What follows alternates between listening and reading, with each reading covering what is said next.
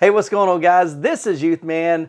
I'm here with my friend Derek. We're wrapping up a video series on the Hisense L5F 100 inch laser TV. So far, we've done two videos in this video series. The first video was an unboxing as well as an overview of this entire system.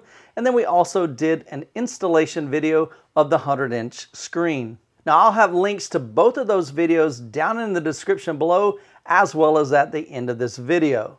Now at the time of this video, the Hisense 100L5F 100 inch TV is $34.89 and they also have a 120 inch version, the 120 L5F laser TV for $49.99. Now I'll have links to both of these down in the description below. So in this final video, we're going to be talking about several things. Number one, we'll talk about the mounting of the projection screen to the wall. We'll also talk about the initial setup. What steps do you need to take to get the screen and the, and the projector aligned up with the screen, the initial calibration. We'll also talk a little bit about what we use to calibrate the projector.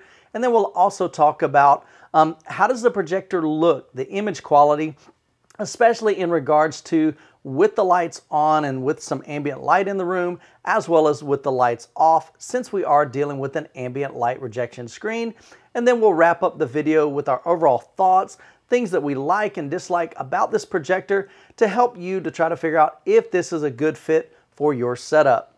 All right, so let's go ahead and talk about what it takes to mount this to the wall. Now, Derek, we're here in your home. Kind of walk us through the steps that you took to secure the projection screen to the wall.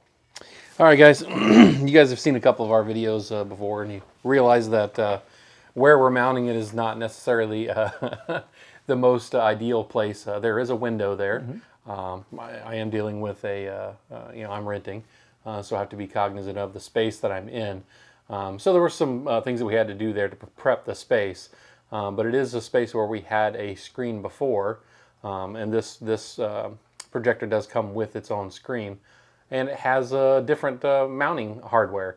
Uh, previously, it was a, basically a metal, uh, excuse me, aluminum uh, French cleat. this one has like, uh, like a vertical, and, and we'll show you uh, the vertical. Like a mounting bracket. Just like a mounting bracket, and just two of them. Um, and like I said, you'll you'll see that in pictures. Um, but it also came with this very this thing's massive long mounting template, um, but very very helpful. Um, probably the, the key portions on this, and, and we'll get some pictures on here as well, is it actually tells you um, where on this, according to uh, the height of the whatever your stand is, it gives you recommendations of the height of the stand. And then the, from the top of the stand to the top of this template, it tells you the distance that it should be there for you to actually um, and then this is actually the top of the screw hole as well.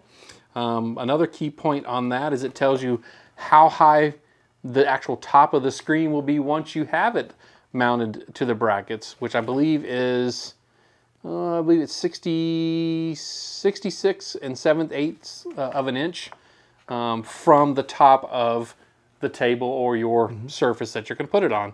Uh, another cool part on this is if you can see this whole portion here on both sides, as long as you're within this portion of it, this is where um, like you you would find a, the stud um, or you know concrete or whatever, but if you would find the stud within this portion, this is where you would mount the bracket at.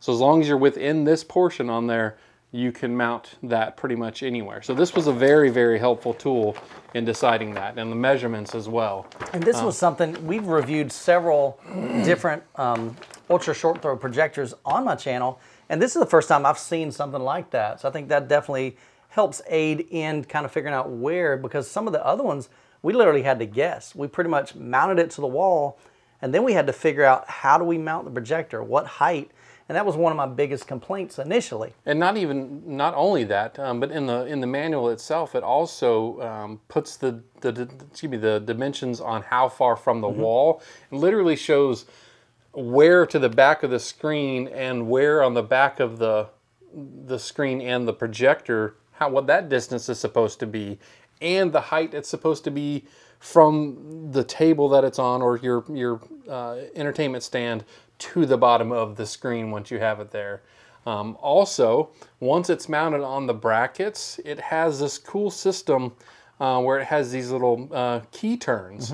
So each one of the two brackets can can be shifted this way. So, So you if you can it. imagine two two uh, pieces right here, and and the the screen is actually sitting on top of the uh, I will just call it ledge, and you can shift it up or down.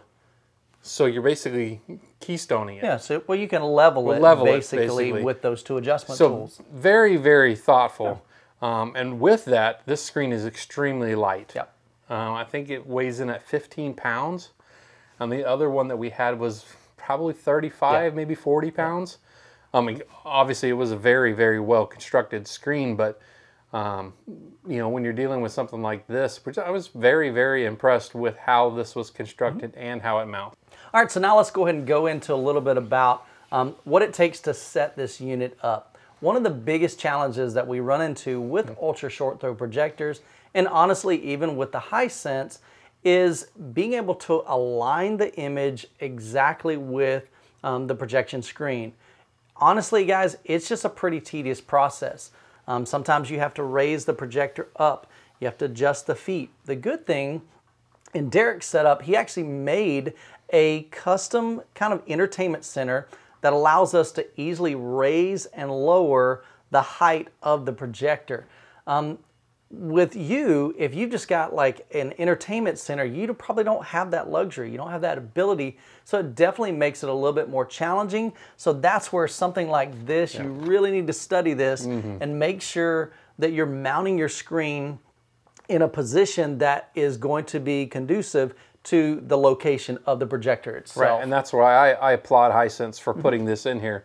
Um, for for and the reason why I built that was because no one was no one was doing Yeah. this. That's the whole reason why I built that thing because that is the hardest part. Uh, and even at at that, it still was the hardest part. We had the instructions, we still had difficulties getting that thing lined up and, we- and we're we're level on you know left to right front to back we're level on the screen and it still had you know some alignment issues Sure. So one thing that's really cool that Hisense did inside the menu is there's an option kind of like an auto calibration.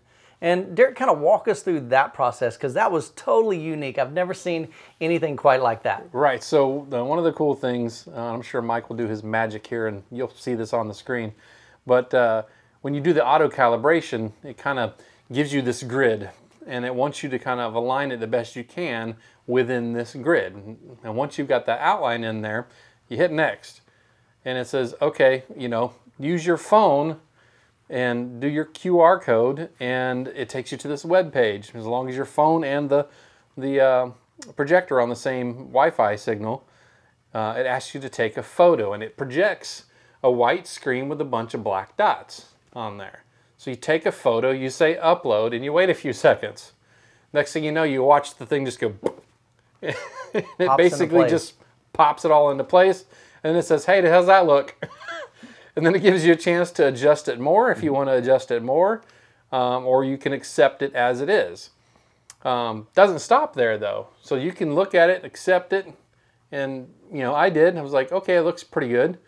But then when we played some content, you know, Mike's like, oh, it looks like you're missing some content up at the top left. So you can also go in and just Correct. do general adjustments, and I believe it's one, two, three, four, five, six, seven, eight. So it's an eight-point adjustment that you can do, and I was able to kind of bring everything back Mm-hmm. in. So now it's you know, dialed in. So I was very, very cool that they have that tool in there to make this process, you know, as you know as simple as possible. Just because, like I said, they've got you know even with all the math, all the uh, calculations, and and the ability to move my table, it still needed help from from the machine. So the fact that they've added all of that in there to try to make it as pain free as possible, because I promise you, let's see the LG uh, 85. Yep. Oh, you, uh, I'm, I'm going to mess that number up. It Yeah. don't matter. The, the Vava, Vava, all of them. um, and I know we've had another one in here, but I told Mike, I'm like, this is the longest process. Yeah. You know, like normally I would I would put them in here and I would spend hours trying to get them as close as I could. This one was the easiest by far. Um, so I definitely applaud Hisense for that. Now, after we got the image aligned with the projection screen, the next thing we did is we went into some video calibration. Um, now, I use just a real basic tool. Um, there's different discs online. I'll link to some of them down in the description below. If you've got a projector, this is just a great disc, and I think they'll even work with your TVs as well. Um, but this is the Disney Wow disc. It's a little bit older. It's a Blu-ray. It's got step-by-step -step instructions on how to adjust proper brightness, contrast, color, um, even your sharpness. And then there's even some additional advanced tools in there that you can go through and kind of tweak some settings. Overall, we didn't make much adjustments to those basic settings. Um, and so really by default, it had a really good mm-hmm. picture. Mm-hmm. This just helped us fine tune it a little bit more. I think these are about 60 bucks on Amazon. Like I said, there's several different versions and different manufacturers that make these. I highly recommend picking up one. Again, I'll leave those down in the description below. All right, so Derek, we've reviewed several of uh, ultra short throw projectors. We've done a Vava, we've reviewed an LG, we've reviewed an Epson, and now we've got the Hisense. Um, image quality, I mean, how does this maybe compare to some of those other ones? Well, I would say um, still as far as image quality, that that LG um, probably had the best image quality. Um, obviously, we had the LunaVision uh, 8K Aurora uh, screen, um, and then as far as price to performance, I kind of was settling on that the Vava there for a while. Um, uh, the Epson was okay, um, and that was wasn't. A, that was a 1080p. It, it was projector. a 1080p projector. Um, so the Vava was kind of where I was going for price for performance. Um, still liked the LG, but it was just for me a, a little bit cost prohibitive.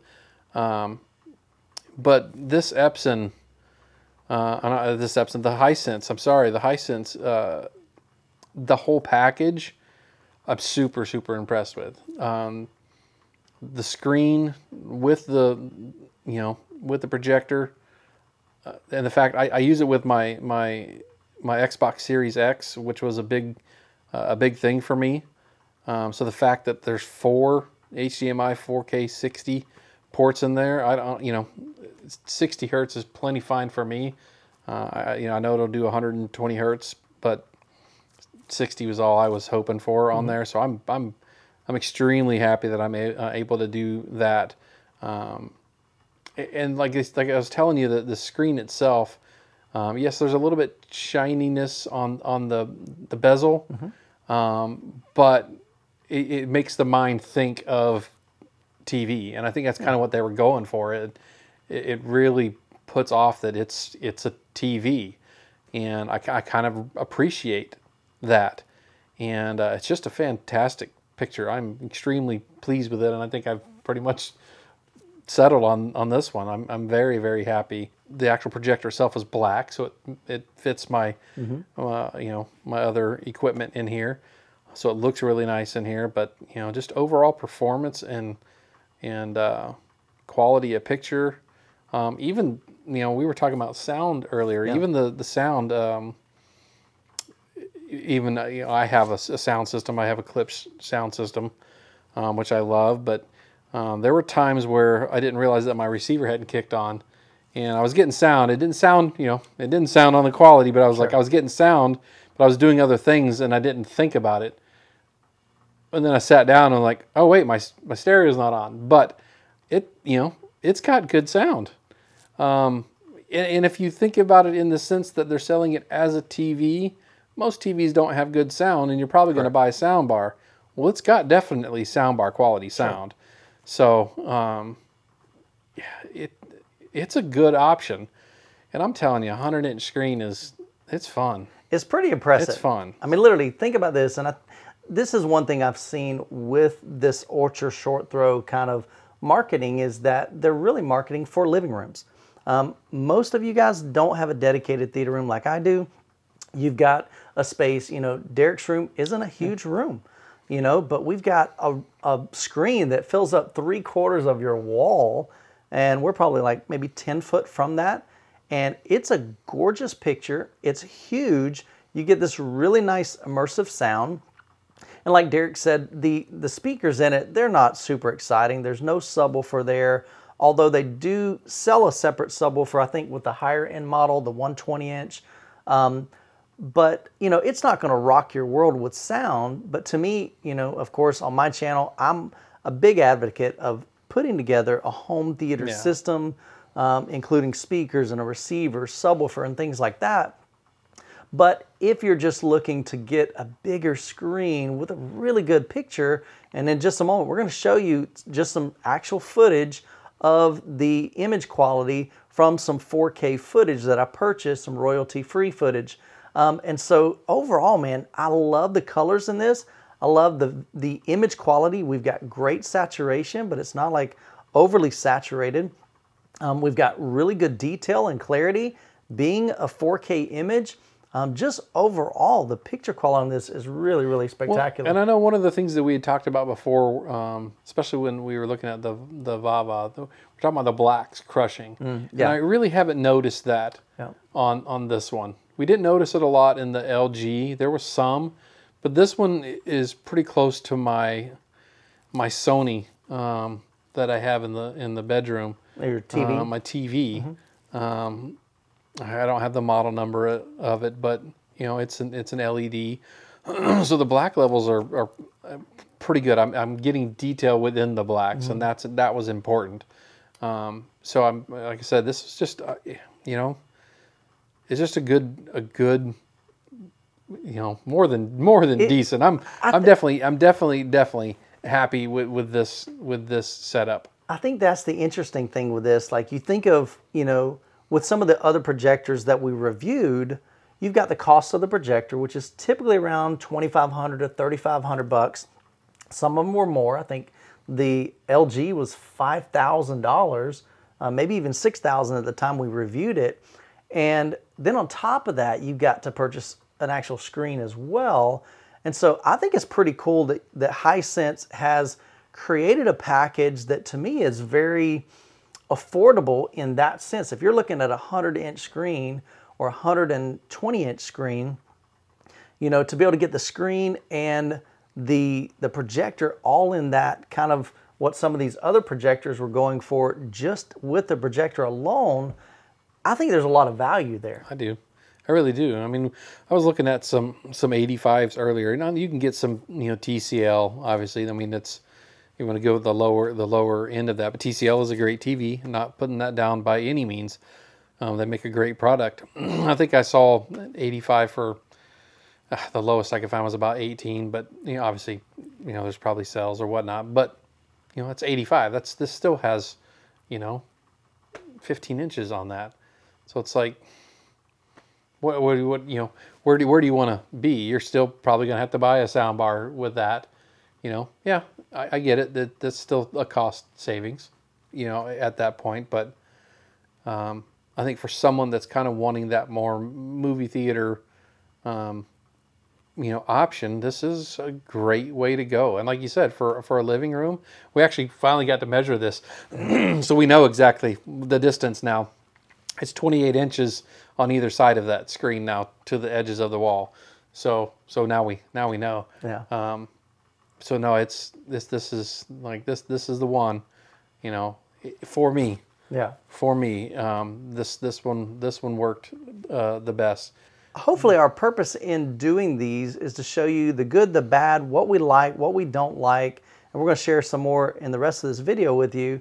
But just to help you to try to figure out, okay, would this be a good option for you in your setup? So anytime you're buying an ultra short throw projector, you want to go with an ambient light rejection screen, which of course this screen is ambient light rejection. So what does that mean? When you have an ultra short throw projector, the light source is coming from the bottom of the screen, hitting the screen, and then it's going to reflect up. Without an ambient light rejection screen, really that light is going to hit the, the projection screen, and then it's going to be bouncing most of that light up towards your ceiling. So with an ambient light rejection screen, if you look at it from the top, it's going to appear black. And if you look at it from the bottom, it's going to appear gray. And what that basically is doing is any light that is coming in from the top, such as the light fixture here, we've got an open window over here that's bringing light, it basically absorbs that light or rejects that light so that the brightness of the picture quality and from the projector isn't as washed out.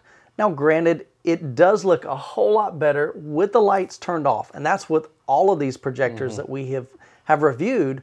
But this has a huge amount of brightness um, for a room that's got a lot of light. We, like I said, we've got a double window right here. We've got um, overhead lights here. And so let's go ahead and take a look at just some side-by-side -side comparisons with the lights on as well as with the lights off.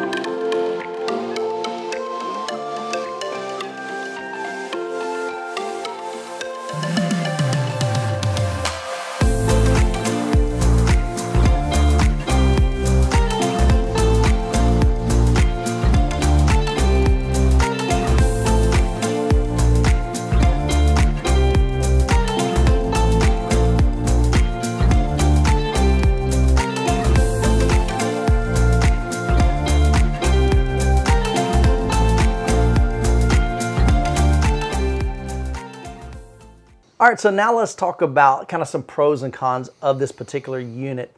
Um, some things that I can think about is I like the fact that it has four HDMI inputs. Again, they're not 120 hertz, but my projector, which is like a $9,000 projector, doesn't even support 120 uh, hertz. Um, but you do have four inputs, which is really nice and convenient, especially if you got multiple gaming systems, maybe a 4K player, um, Apple TV, those types of things. So I think that's great. Um, another thing is the fact that the color, um, being able to have this in a darker finish. I know a lot of you guys, when we reviewed, um, especially the LG, you were like, you know, do they come in black? No, unfortunately they don't. This one has, it's kind of like a two-tone. So there's black on the front, and then as you progress to the back, it's more of a dark gray. But I think it kind of blends in, especially if you've got speakers or maybe a media cabinet in front, especially if it's darker and it kind of matches that. Um, I love the fact that, that it has the automatic um, kind of calibration as far as where the image is and how it's keystone. That, it wasn't perfect, but it got us to a good point to where we could then easily go in there and go, okay, it. let me make some small adjustments to maybe the corners or the edges to align that up really, really perfectly. And with the fact that this has got a really narrow kind of bezel um, or bevel, depending on how you want to uh, call that, with these types of projectors, and especially even with the Hisense, um, you're able to really fine tune that to where you can align the image literally exactly around the border of that screen. This one also has four feet that are adjustable too for, you know, aligning, which Yeah. is really nice. Because some of them other ones had Had three, three and it yeah. Mm-hmm. kind of was a little wonky uh, with that. Um, the fact that it's not just a Wi-Fi capable, it also has wired Ethernet. That's a plus, I, I believe. Um, I would say, um, what else did I like on it? It does have the uh, the auto sensing, like if you get too close to the light. Uh, so if you have little kids or animals or whatever, you're not going to blind them by getting too close. It'll shut shut off the screen. Actually, it won't shut it off. It'll like It'll give you like a five second. Hey, we're going to close this off, but it shuts off most of the light and actually projects a number to the right, um, and it does a little countdown. So if it's there for too long, then it'll actually shut the the light source off. So you're not going to blind someone. I think that's that's a smart, but also gives the option to turn that off. You know, if you're not uh, going to deal with that, I, I typically turn that off since it's just me, um, or my you know my kids are older, so uh, they don't walk in front of it. So, um, what else did I like? Um, like I said, the the fact that the sound was was more than decent if you didn't have uh, a stereo system, which I, I do, but I still appreciated the fact that you know it, it had decent sound that way. Um, I also it also has um, Google and um, Amazon integration. So you know I have routines that when I drive and I'm within a block of my house, uh, my receiver, my Xbox, and my projector all turn on at the same time.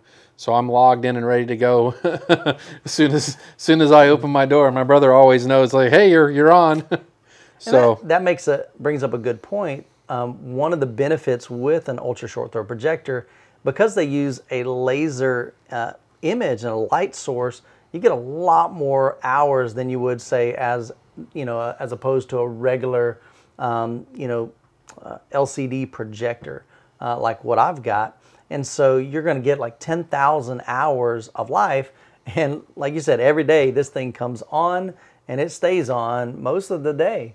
Um, so you're going to have a lot of life out of that, which I think is definitely another benefit of the ultra short throw projector. and it even it even will it'll like I just timed out. So right now behind we had it on behind us, and it, it'll time out. It'll do um, some screensaver type stuff, and even after a, longer time, it'll actually you know turn the light source off just you know just to keep it Mm-hmm. Just try to you know, preserve that in some life left on there, on. which is which is nice. Now, when we talk about like some maybe some negative items on the Hisense, um, really the only thing that I can think of, and we really experienced this with pretty much all of them that we've reviewed, is you are able to hear the fan. Um, so, like right here, I can hear the fan from this distance, but we don't have any sound going. Right. And so, once you turn on, you know, a movie, once you turn on the news, once you turn on a video game, you, we don't hear the fan at all.